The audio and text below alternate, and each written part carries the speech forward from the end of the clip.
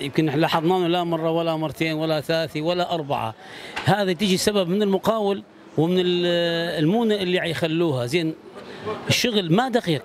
أشنو السبب؟ أنت بترجع ترجع للمقاول وترجع كذلك للي يشتغل بالخلطة. زين ما حكوا مراقبة. وين ما يقشعوهم لو بس يأخذون الفلوس يقعدون لو الشركة لو أشنو هي هذه؟ خليه يطلع اللي يشتغل بهاك الأمور. خليه يقول منه هذا اللي يشتغل. حتى يتم تقصير. إذا ما عنده تقصير حتى يتم ال- محاسبته. شوارعنا هسه أغلبيتها نفس الشيء. كل ما تموجي بس يصير الحال تجي سيارة ثقيلة يدوس ببطنه وهالسيارات تفتر الكبيرة. ليش؟ اشنو السبب؟ ما يصير. السيارات الكبيرة ما خلت تفوت بالشوارع هكذا ولهذا عاد تتكسر أغلبية ال- الشوارع. سبب الغش بالمواد وعدم الإتقان. ويعني عدم مخافة الله في كل شيء. يعني إيش أقول لك؟ يعني عندي شوارع قديمة هسه مثل اكو مثل يضربوه على رأس الجادة. شارع من وقت الإنجليز عملوه. لحد الآن بقوته وبحيله ما شاء الله. وإحنا هنا الشارع يعملوه هنا باقي خلال هاي الأيام يعملوه خلال الشهر شهرين ثلاثة ما الا قبل.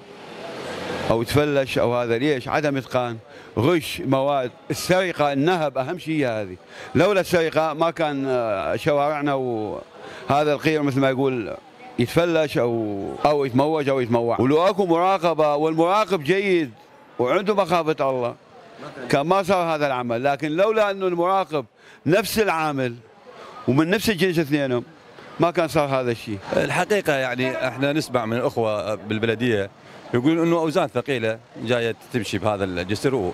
لكن إحنا نشوف هاي ال- الأوزان كانت هي نفسها يعني ما تغيرت سياراتنا صارت جتنا سيارات تتحمل أكثر المشكلة أنا اتصور بعرف بال- بال- بالمقاول بالمهندس المفروض السيد المحافظ والسيد مدير البلدية يحققون بهاي الأمور وإذا كان فعلا ال- الامر بأنه الحمولة زايدة المفروض يضعون جهاز سيطرة حتى يسيطرون على هذه الحالة والحقيقة هذه مره بلطوا شارعين بيتنا.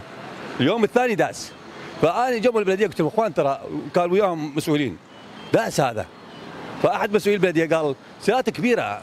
قلت يعني إخوان مشي عليها باسكلات أنت ليه مسوي الشارع؟ إذا كان السبب المقاول المفروض يعاقبه. إذا مهندس المفروض يعاقبه. وإذا السبب أهل السيارات المفروض يعاقبه.